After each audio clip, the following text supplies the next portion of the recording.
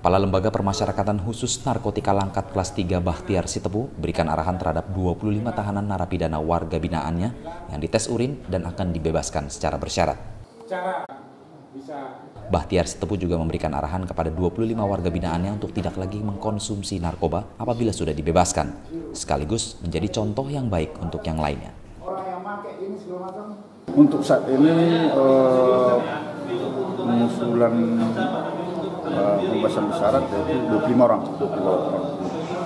Dan sudah memenuhi syarat administratif dan syarat substantif. Harapan kita Pak sebagai Ya. harapan kita harapan kita supaya ini Pak masa narkoba Harapan ini kita supaya memang orang ini betul-betul apa sebagai tugas kita yaitu di 10 program pemasyarakatan prinsip pemasyarakatan yaitu ayomi dan benahi mereka dan negara tidak berhak membuat orang ini lebih tidak baik. Jadi sebagai petugas pemasyarakatan kita mengharapkan kalau misalnya orang ini pemakai narkoba di luar masuk ke dalam dan berubah dan keluar nanti tidak memakai narkoba lagi. Harapan kita. Pak, terima kasih Pak. Apakah Pak ini statement di luar lapas yang lain Pak? Setiap mengurus remisi atau pembebasan bersyarat ini membutuhkan biaya. Sedang, ah di di sini sendiri, di sendiri Pak di lapas narkotik langkat ini apakah demikian juga Pak? Oh, seperti yang saya katakan tadi bahwa itu tidak ada dikutip biaya. Apalagi sekarang ini kita sudah memasuki wi- wilayah bebas korupsi dan wilayah birokrasi bersih melayani. Jadi kita tekankan kepada anggota semua dan kepada warga supaya tidak ada lagi pengutipan dalam semua jenis pelayanan di lapas narkotika langkat ini. Misrudin, salah satu warga binaan tahanan lapas Langkat khusus narkotika kelas 3 yang mendapatkan pembebasan bersyarat mengatakan dirinya merasakan nyaman dibina oleh kepala lapas dan mengimbau kepada masyarakat di luar untuk tidak menggunakan barang haram tersebut.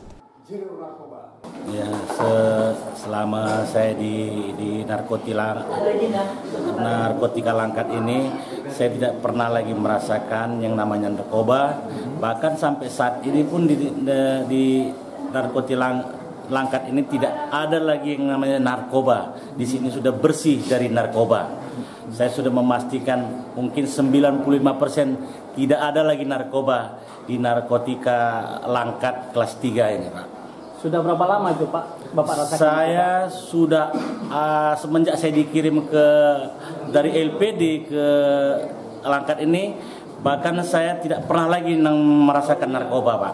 Waktunya berapa lama itu Pak? Sudah ada sekitar tujuh bulan pak. 7 bulan. 7 bulan sudah bisa ya Pak ya? Iya pak. Berarti Tujuh bulan. manfaat daripada kebijakan Bapak Bapak Bapak Bahtiar Kalapas ini apa yang Bapak rasakan? Ya itulah makanya bapak ini sangat eh, mem- membina kami dengan sesungguh-sungguhnya bahwa memang dia harus dibersihkan eh, yang nama narkoba di narkotika kalangkat ini. Mudah-mudahan sampai sekarang ini sudah saya rasakan saya hidup pun sehat bahkan ada pun yang di dalam itu mau memakai saya tidak akan tetap saya melarangnya gitu pak. Berarti ini penolakannya murni Iya, dari Pak. warga binaan sendiri Pak ya? Iya pak, iya pak. Jadi harapan Bapak kepada warga yang warga binaan yang lain di lapas yang lain apa Pak? Ya, mudah-mudahan kalau saya harapan saya jangan sampai ada di na- apa di LP mana pun yang nama na- narkoba. Kalau memang mau dibersihkan, mudah-mudahan diri kita sendiri yang akan membersihkannya semua itu, Pak. Dari Sumatera Utara, Abdul Meliala Tribrata TV, salam Tribrata.